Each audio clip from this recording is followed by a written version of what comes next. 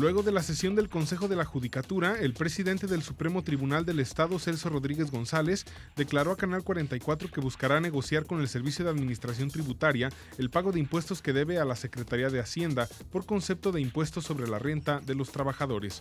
La deuda se estima en 100 millones de pesos.